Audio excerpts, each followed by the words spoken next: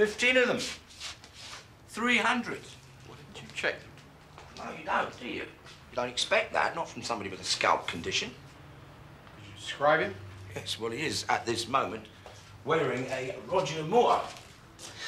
One of our more popular lines and completely waterproof. Waterproof. Yes, uh, keeps the rain off. For what? Big brains. You can swim in a Roger Moore using our special exclusive adhesive. Well, apart from glue on his scalp, any other distinctive features? No, no, I'd say nondescript, give or take.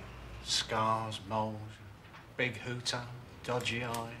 No, no, as I say, nondescript. Facing the crowd, ordinary. Mind you, I'd recognise his scalp anywhere. Unfortunately, we don't have a file on cranium prints. Well, there was one thing, could be a clue. He left his old wig here. A cheap nylon hairpiece circa 1972. An early Engelbert Humperdinck, I should say. In need of renovation. Renovation? It's got real dandruff. It's not in the best of condition. I've seen better looking rats down the old East India dock. yeah, Jones, try it on. Me? What have I done? Do you want a list? We're trying to picture the face beneath this apparition. Now, try it on.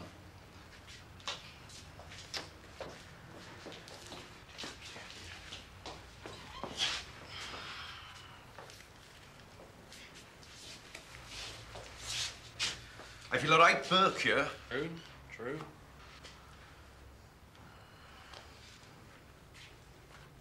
The syrup. What? Syrup with figs. Who? Character known to the police. Oh, aye. I'll uh, take this Irish into custody. I've got a plastic bag or something. Of course. You've got a suspect? Yes, well, you uh, could say he has a price on his head. That's an amazing bit of deduction, Sergeant. By the way, have you ever thought about a hairpiece yourself? Why? Well, we are receding a little, sir, aren't we? We get by. I'm sure you do, but it can be disabling. Socially, I mean. Professionally, even. I think Sir's macho image might be greatly enhanced with a Burt Reynolds, one of our range, or even a Starsky. Very popular, the upper ranks down at the yard. I was going to suggest that to you, Gov. Oh, well. Yes. No.